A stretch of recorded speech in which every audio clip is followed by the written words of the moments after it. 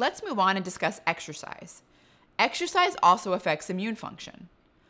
Moderate exercise of one hour per day for five days a week has been shown to improve the immune system, but intense exercise for two hours or more has been shown to increase the risk of illness. This can be described as a J curve. Another example of this J curve response is a study including elite cyclists, recreational cyclists, and sedentary controls. Recreational cyclists had the fewest number of sick days. Sedentary controls had twice as many sick days as recreational cyclists, but elite cyclists had four times as many sick days as recreational cyclists. A 2019 review outlined nine studies where endurance exercise was shown to decrease the number of respiratory illnesses. The workouts in these studies ranged from 30 to 60 minutes and were moderate in intensity, such as jogging. Antibody response to vaccination has been used as a proxy for immune response to exercise. A comprehensive review investigated the relationship between exercise and the immune response to a vaccine and found that in eight studies, frequent moderate to vigorous exercise increases the body's immune response to a vaccine. However, strenuous, prolonged exercise did not show as strong of an immune response. For example, Prolonged intense exercise is unable to boost antibody responses to vaccines like moderate exercise was able to. One study vaccinated 22 male triathletes 30 minutes after completing a triathlon. There was no difference in antibody levels in the male triathletes compared to controls. There are several studies that demonstrate that extreme endurance exercise does not benefit the immune system and can increase the chances of getting respiratory illness. For example, the J curve study we mentioned earlier found that elite cyclists had four times as many sick days as the recreational cyclists and twice as many as the sedentary group. Other studies have found an increased rate of respiratory illnesses after intense endurance exercises that last at least 90 minutes in length. Shorter duration running events such as 5, 10 kilometers, and half marathons did not appear to elicit an increased incidence of self reported upper respiratory tract infections. Elite endurance athletes are exposed to many factors that could contribute to increased viral susceptibility. For example, they often attend events with large attendance, frequent traveling, psychological stress, potential nutritional deficiencies, lack of sleep, and more. However, when compared to other athletes that attend the same events and have similar risk factors, the endurance athletes still have a significant increased risk of illness compared to, for example, power or speed athletes. There are a couple of proposed mechanisms that might explain why extreme exercise may depress immune function. But before talking about the proposed mechanisms, I think that it goes without saying that extreme exercise, like that at the elite level, is very energetically demanding.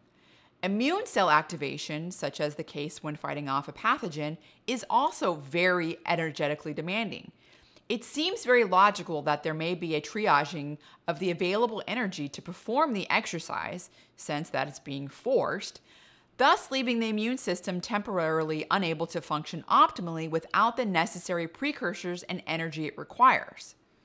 All right, with that said, let's discuss the proposed mechanism one. The open window theory is characterized by short term suppression of the immune system following an exercise.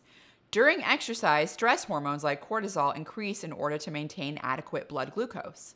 These stress hormones could transiently suppress immune function.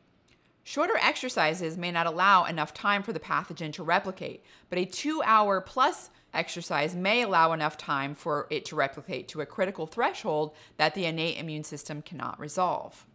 Some argue that the decrease in immune cells after exercise supports this theory, but as we will later discuss, the decrease in immune cells may actually be due to a beneficial relocalization of immune cells from the blood to tissues. So let's talk about mechanism number two. The immune system cannot handle the pathogen burden associated with a two plus hour. While there may be a boost to the immune system in an intense two hour plus exercise, as there is in a moderate 45 minute exercise, the burden on the immune system hits a tipping point that leaves it depleted. In support of this theory is the observation that vitamin C demand is increased in long endurance exercises. For example, six trials involving more than 600 marathon runners, skiers, and soldiers reported 50% fewer colds when supplementing with vitamin C. In addition, a randomized controlled study in 20 athletes in their early 20s who participated in duathlon like competitions found that antioxidant supplementation increased the antioxidant defenses of neutrophils. There has been some debate about whether very strenuous exercise suppresses immune function as a consequence of decreased immune cell numbers. White blood cell numbers have been shown to increase during acute bouts of exercise, followed by rapid reduction in immune cell numbers 30 to 60 minutes post exercise. The drop in immune cell number can be 30 to 50% less than pre exercise levels and can last up to six hours. This increase and sequential decrease sparked the theory of the J shaped curve.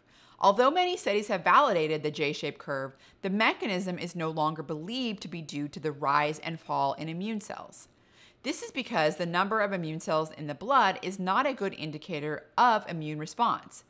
The increase of immune cells is due to the immune cells being pulled off of the edges of blood vessels by the increased blood flow and pressure. Afterwards, the decrease is due to redistribution of immune cells to various tissues and out of the bloodstream.